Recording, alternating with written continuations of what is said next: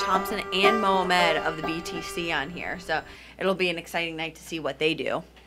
It doesn't look like Mohamed is is on the Oh. the line right now, so he Forgive me for that one. he is probably scratched. But Eric Avila is on the line there, Mm-hmm. running for Golden Coast and Adidas. And then we've got two Oregon Track Club athletes who like to mix it up at the front there. Uh, it looks like three Oregon Track Club athletes. I think Jake Heyward may have jumped in there as well. Uh, but Will Paulson and Vince Ciattei, 335 and 336 men there, taking their PRs down last year in the Big Friendly Series.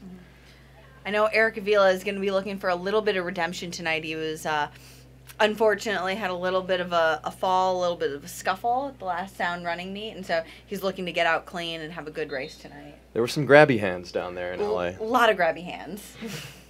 We hope for a clean start here.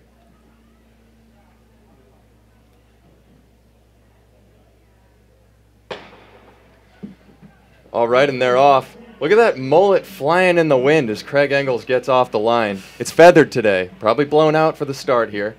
I would assume that he has his hair all nice for a big race like this tonight with so much great competition. You got to be prepped. So we have a couple athletes jumping out front here, a couple rabbits, it looks like. Uh, Portland athlete jumping in there, getting the pace going, and an Army man up front. Jake Heyward is in the field. You can see Hobbs Kessler, the high schooler, on the outside on Amos Bartelsmeyer's shoulder. So we have Josh Thompson sitting in fourth right now of the Bowerman Track Club. He's got enormous speed in this event, and it'll, I believe he's putting himself in position right now to be able to make some moves later in the race. Josh Thompson closes very well, and his PR actually comes from indoors, and that's 334 for this event. Craig Engels also a 334 miler or 1500 runner. That's a 54 second first quarter, so the field is strung out. I think uh, 54 for the front is good because it means that the guys midway through the pack are running 55 to 60, 56, which is much better pacing for this type of event.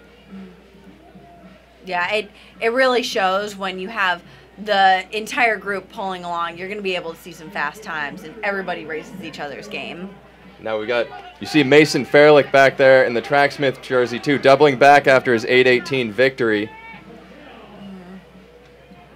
Yeah, definitely keep an eye on Craig Engels here. He's in perfect position as he's going through. Craig Engels looking to make a statement here.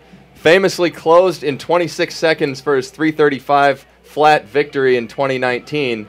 We'll see what he can do here. As they come through 800 meters here now. In about 153 seconds. Wow. So the pace is hot. The pace is hot here in the forest. Jake Heyward on point, Josh Thompson behind him, and Charlie Grice moving in here. Charlie Grice, uh, he's got an axe to grind in here, and not happy that he's not mentioned in the in the pre-race previews that other publications have been putting out. He wants to make a statement here, and he inches up into second place in That between was Dan definitely a Green. strong move. Great move heading into this penultimate stretch.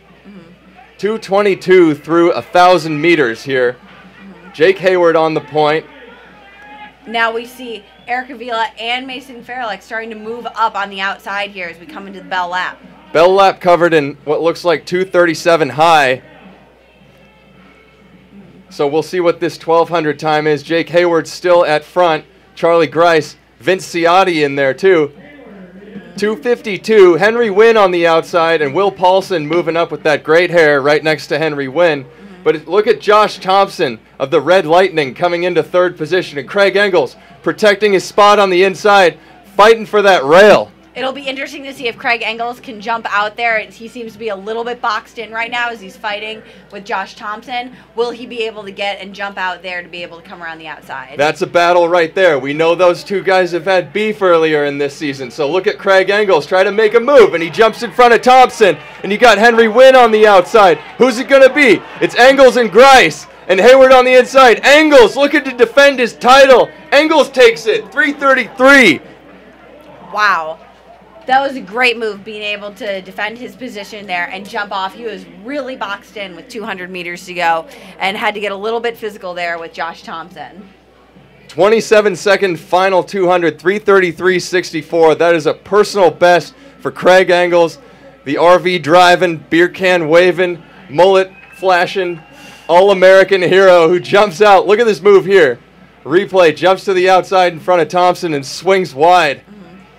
I think that can be the hardest thing about the 1500 meters sometimes. If you don't have that position, it can be really difficult to make the moves and get the times that you want. But it seems like Craig Engels really was able to put himself in the place where he was able to run that fast time. Look at him see a friend here. And what did Hob- Hobbs Kessler ran 334.36? Oh my God. He obliterated Webb's record.